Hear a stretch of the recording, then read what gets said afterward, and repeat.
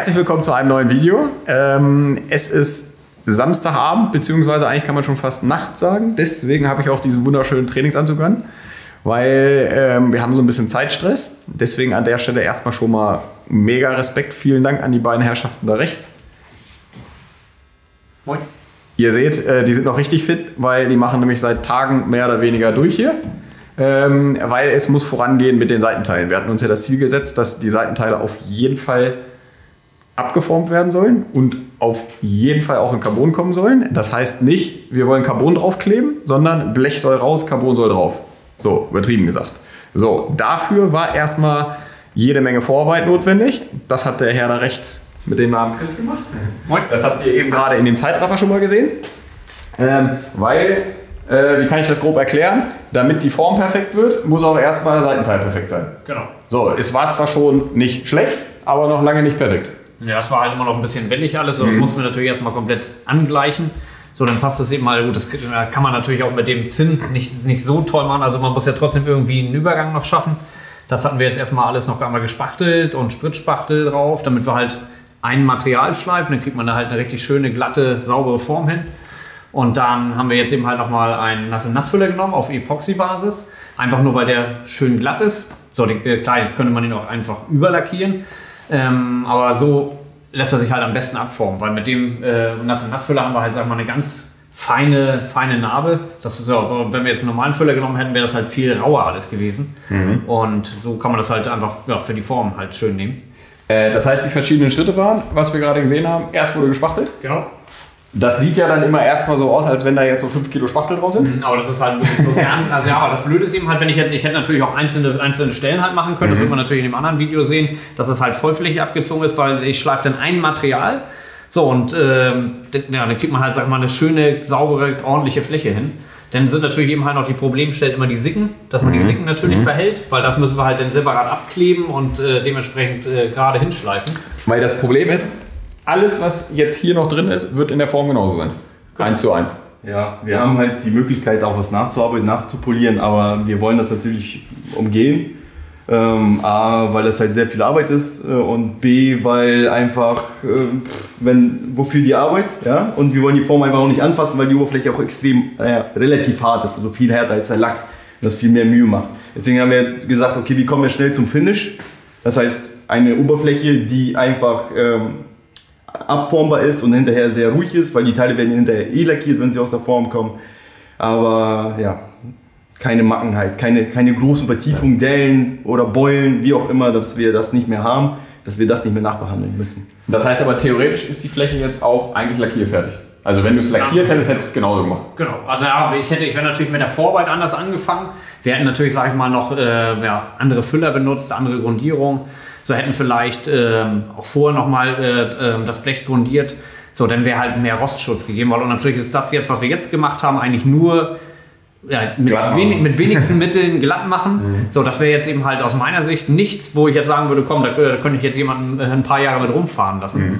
So, weil dann könnte es halt trotzdem sein, dass, äh, so, dass da noch Feuchtigkeit durch, durchkommt oder sonst was. So, und das, ja, Ähm, wir müssen in diesem Video auf jeden Fall mal so ein bisschen zeigen, wie aufwendig dieser Formbau ist. Weil ganz viele Leute kommen mit Sicherheit immer an und sagen, äh, bau mal Carbonteil. Sicher. Und ich versuche den Leuten dann immer zu erklären, dass das halt, dass alleine in diesem Formbau so viel Arbeit drin steckt, dass wir einfach mal versuchen, so ein bisschen so auch mal zu zeigen, den Zeitaufwand dahinter. Was denkst du, wie viel Zeit alleine reingegangen ist, bis die Seitenteile überhaupt so weit waren? vier Tage. war ich da jetzt Tag und Nacht bei. Also- Also, so, dass es, also so, dass wir eben halt, sag mal, dieses Ergebnis halt haben. Ja, ja. So, weil man dann eben mal gut hat, man hat natürlich immer noch, äh, noch Wartezeiten. Klar, ich könnte es auch noch weiter beschleunigen mit, äh, mit, ähm, ja, mit Infrarotstrahlen und alles. Aber das ist jetzt nicht so in meinem Interesse. So, deswegen haben wir halt immer nochmal, äh, über Nacht nochmal, dass wir es trocknen lassen konnten und dann hier nochmal schleifen, da. Ne? So, und du hast natürlich gerade auch in den kleinen Stellen, man hat so viel Fummelkram hier oben und da, so, da kannst du halt alles nur, nur von Hand schleifen. Ja, dann hatten wir halt ja hier noch alles geglättet, so, da kannst du halt auch nicht so viel mit Maschine machen. So, und das ist dann nachher alles Katastrophe. Und das hält halt un, unnatürlich viel auf. Das heißt, da sind schon, vorsichtig gesagt, pro Seite nochmal 10, 20 Stunden schon mal reingegangen. Jo, das ist auf jeden Fall, ja. So, das hat theoretisch noch nichts mit der Form zu tun, weil da kommen wir nämlich jetzt im zweiten Step drauf. Das sieht schon Viele von euch haben das ja bestimmt bei Instagram schon mal gesehen. Ich habe euch ja schon mal so ein bisschen mit Absicht an, angeteasert und heiß gemacht, weil ich die einzelnen Schritte selber so cool fand. Ähm, wir müssen jetzt gucken, wie wir das Ganze irgendwie so ein bisschen filmerisch begleiten. Das ist nicht ganz so einfach, weil Artyom ist so eine Nachteule. Der arbeitet am liebsten hier nachts, weil er tagsüber weiterarbeitet, aber er arbeitet trotzdem auch nachts. Und ähm, das sind für uns 250 Kilometer her, deswegen müssen wir jetzt so ein Konzept finden, wie wir euch das auf jeden Fall zeigen. Dazu kommt, dass er am liebsten gar nichts zeigen würde, aber ich zwinge ihn immer so ein bisschen, mal so ein bisschen was zu zeigen. Kann man so dass, nicht sagen, ja. dass die Leute einfach mal verstehen, wie aufwendig das ist. So, dass Ja. die Leute mal sehen, wie viel Aufwand in so einer Form drin steckt. Ne? Ja, die Leute, also einmal zu, vorab mal gesagt, ähm, es ist so, dass äh, viele denken, ja, Baltic Carbon hin und her. Im Endeffekt, Baltic Carbon bin ich. Ich bin auch alleine. Ich, egal was passiert, ob jetzt ein Angebot kommt, ich das baue, die Teile baue oder ihr eine Rechnung bekommt oder was auch immer. Oder ich mit euch telefonieren. Ich bin's alleine und ich bin auch alleine, der das hier macht. Ähm, das, ja, deswegen äh, seid mal nicht sauer, wenn irgendwie mal nicht kurzfristig geantwortet wird, äh, beziehungsweise es nicht alles so schnell passiert, wie ihr es gerne hättet manchmal. Aber es braucht einfach seine Zeit. Und ich bin halt so Mensch, ich gebe das halt entweder perfekt oder gar nicht raus. So, und das ist mittlerweile weiß Philipp das ja auch. Deswegen machen muss ich sagen, und es ist wirklich immer perfekt, deswegen freue ich mich auch schon so auf die Seitenteile, weil ich glaube nach wie vor daran, dass wir irgendwann diese Carbon-Seitenteile einfach so hier drauf schieben. Und nein, es ist wirklich, wirklich brutalster Zeitaufwand. Das zeigen wir euch jetzt an den Formen. Ähm, deswegen, nee, denk mal, alles gut. Ja. Derjenige, der von dir diese geilen Carbon-Teile haben will, der wird und muss halt ein bisschen Zeit mitbringen und so ist das halt. Ne? Ja, So, ne? Genau. Deswegen. So, okay, Thema Formbau. Hm, Hier ist jetzt ja schon ein bisschen was passiert. ja. Ich würde sagen, wir fangen mal bei den kompletten Basics an. Einfach, was überhaupt Formbau ist. Wir wollen ja am Ende erzielen, dass du jederzeit solche Seitenteile bauen kannst. genau. Da war ja das erste Problem, dass du gesagt hast, nehmt die Seitenteile auf gar keinen Fall raus, du willst da am Auto abformen. Ist die bessere Möglichkeit, ja. Im Endeffekt, ganz einfache Begründung, kann sich jeder vorstellen. Ähm, es ist halt, wenn es ein Körper ist, sage ich mal, dann ist nicht das Problem der Verbindung. Wenn wir die Bleche raustrennen, ist es halt so, dass es sich bewegt. Ähm, und es kann halt passieren, dass wenn wir die raustrennen und die, die so weit bewegt, was man ja dann nicht mehr wirklich messen oder nachvollziehen kann, sag ich mal mit den Augen ähm, sehen kann, äh, haben wir ein kleines Problem, weil dann passt es nicht mehr ordentlich rein. Das heißt, du weißt einfach, wenn von hier bis hier einfach ein bisschen Verbindung drin ist, Zum Beispiel. was ja. man ja noch nicht mal sehen kann. Genau, das ist ja klein, das kleinste Problem. Zudem ist ja auch so, wenn du das Teil ja auch ran, raustrennst, was du ja, denke ich mal, auch selber gemerkt hast, dass gewisse Stellen geschweißt, verlötet, äh, punktgeschweißt sind, wo du nicht einfach sagen kannst, ich nehme das jetzt ab und fertig, sondern Ja. du musst, es ist halt ein Blech, du kannst es biegen, du kannst es raustrennen, es ist nicht kaputt, aber die, die Form oder die, äh, ja, die Form des Teiles ist ja nicht mehr so, als wenn es an, montiert an der, am Auto bist. Ich Ne? freue mich auf jeden Fall schon drauf, wenn wir am Ende diese Form zeigen können, weil ihr habt einfach noch keine Vorstellung davon, wie diese Form am Ende aussieht. Ich glaube auch nicht. So, er glaubt selber nicht. ähm, weil ich habe schon so zwei, drei Formen gesehen und das ist wirklich, das ist wirklich krass. Okay, Punkt 1 ist, muss am Auto abgeformt werden. Ja. Punkt 2. Das haben wir schon mal zum Glück, dank äh, Chris, 48 Stunden durchgehendem Spachtel und Schleifen schon mal realisiert. ähm, Punkt 2 ist, die Form muss am Ende so sein, dass du natürlich jederzeit ohne Auto wieder solche Seitenteile bauen kannst. Genau. Das ist die Voraussetzung.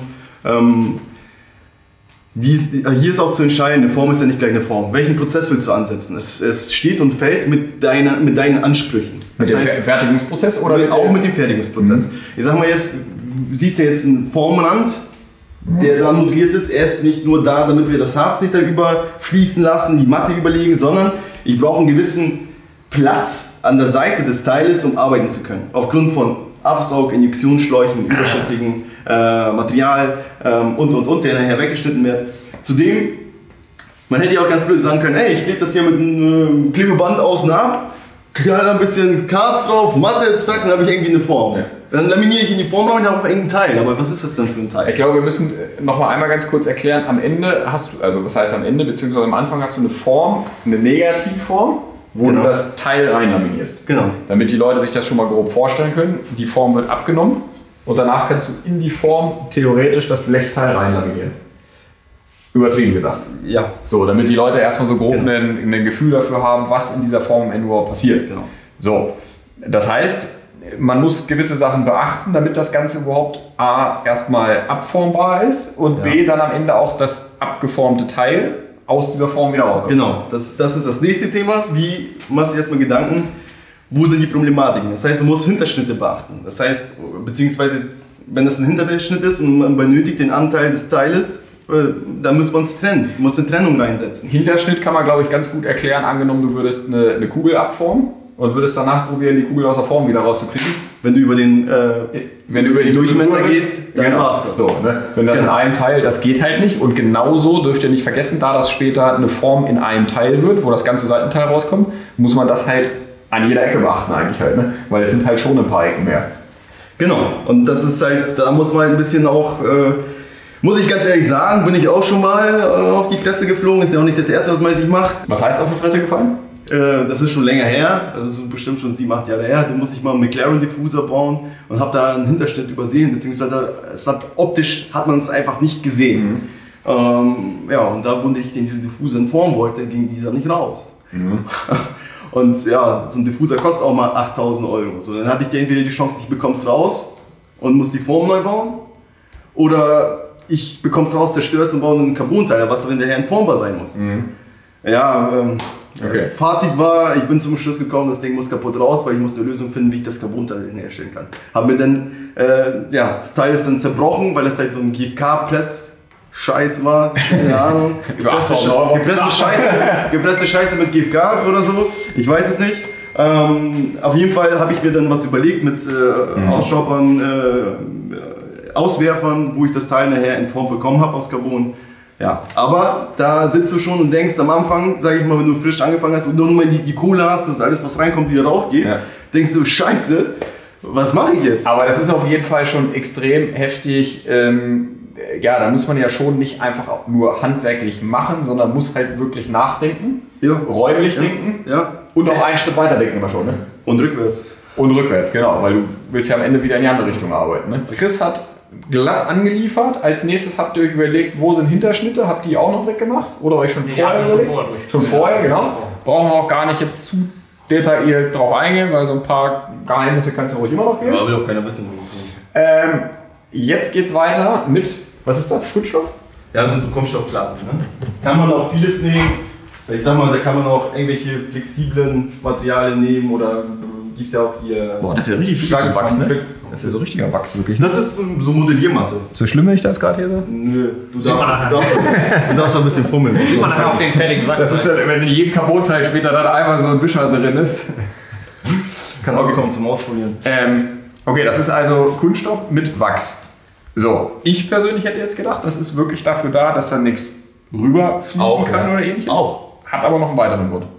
Ja, also wie gesagt, diese Modellierung des Formrandes und äh, ist nachher eine Erweiterung der Form, wo, äh, äh, ja, wofür ich die Fläche brauche, um damit einfach arbeiten zu können.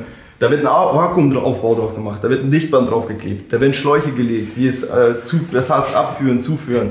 Das heißt, das heißt, diese Materialstärke ist später in der Form Nein.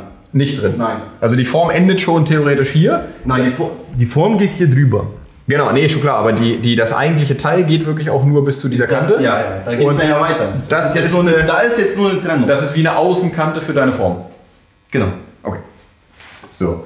Ja, das ist ja auf jeden Fall dafür, dass es nur eine Außenkante ist, auch schon mal ein bisschen. Das ist gut Action. Ja. Vor allen Dingen, ich bin, ich arbeite immer sehr gerne. Ähm, Nachts, ne?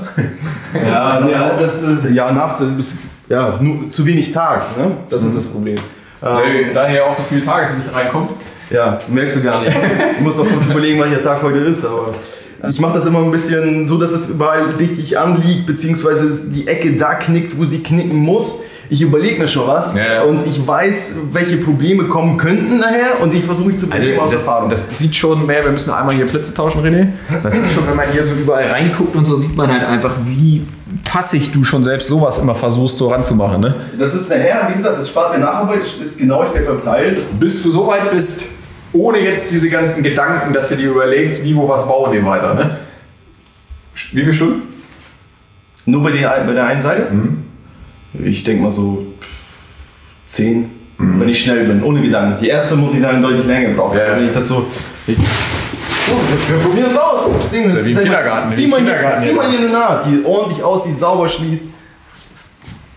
Damit, damit es verschließt, damit das Harz da nicht durchdringt, damit das glatt ist, damit da keine ich, scharfe Kante ich, ist. Ich würde es wahrscheinlich erstmal hier so, so reindrücken mit den Fingern. so, jetzt hast du hier so einen Überstand. Die musst du ja schon mal wegbekommen. Ja, das geht, das? das geht jetzt wahrscheinlich, hier geht das wahrscheinlich gerade einfach, weil es so schön gerade ist. Ne? Ja, wenn, das jetzt natürlich. aber, wenn das jetzt aber eine Rundung und so weiter ist. Ich sag hier zum Beispiel, hier schon mal, das wird mir nicht genügen, dann würde ich das hier schon mal richtig schön wegmachen, würde ich verstreichen, würde hier wahrscheinlich was abnehmen, damit das eine schöne gerade Kante ist und würde sie nochmal hier äh, ein bisschen brechen. Jetzt weiß ich, wer die Koros abdichtet.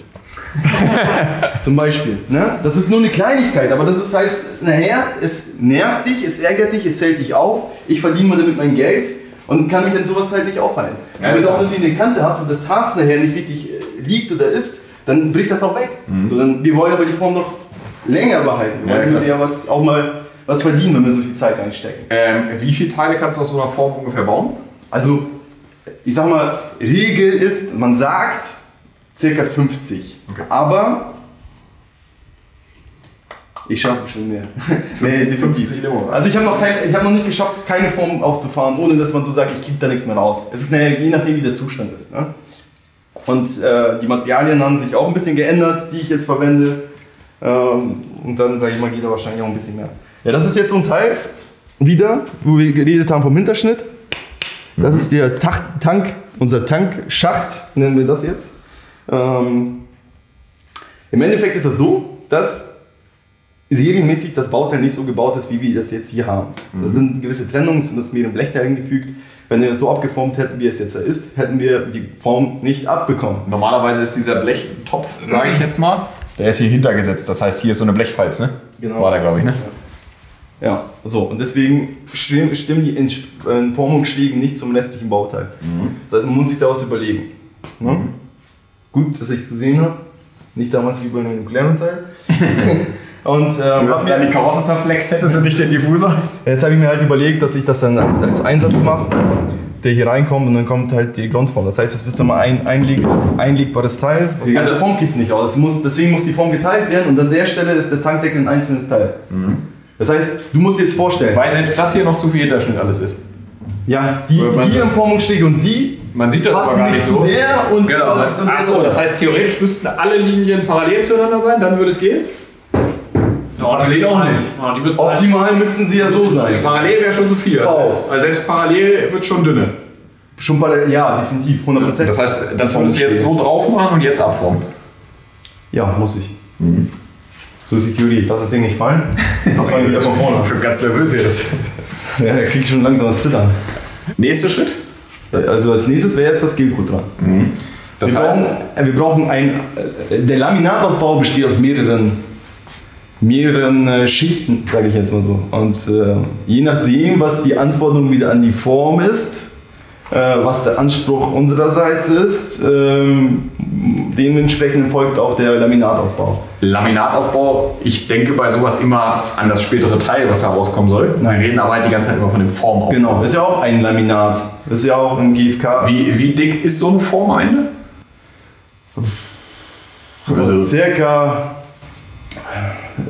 7 bis 8 Millimeter. okay, also schon. Also massiv. Grundform. Ja, Es ist ja. halt naja so, dass auch der eine Verarmung reinkommt, um den zugegen zu wirken, damit es wirklich da in der Form bleibt, wie sie sein soll. Das heißt, hier kommt jetzt erst eine Schicht drauf, Da kommt erstmal eine- Deckschicht drauf. die wirklich perfekt glatt anliegt. So sage ich jetzt einfach mal. Genau, die, also diese Form, diese Schicht hat auch eine gewisse Eigenschaft. Ähm, die ist halt sehr kratzfest ähm, und etwas dicker. Das hat zur Folge, dass, ah, ja klar, Kratzfestigkeit fällt die man braucht gar nicht zu sagen, nicht mal warum, wieso, weshalb, Haltbarkeit und und und. Ah, okay, weil das später die Schicht ist, wo du auch jedes Mal reinlaminierst. Genau, das ist das Grüne, was du hier siehst. Das ist auch ein Formbau. Und wie gesagt, das ist schon extrem. Ich will jetzt nicht unbedingt rumkratzen. Nee, brauchst du nicht.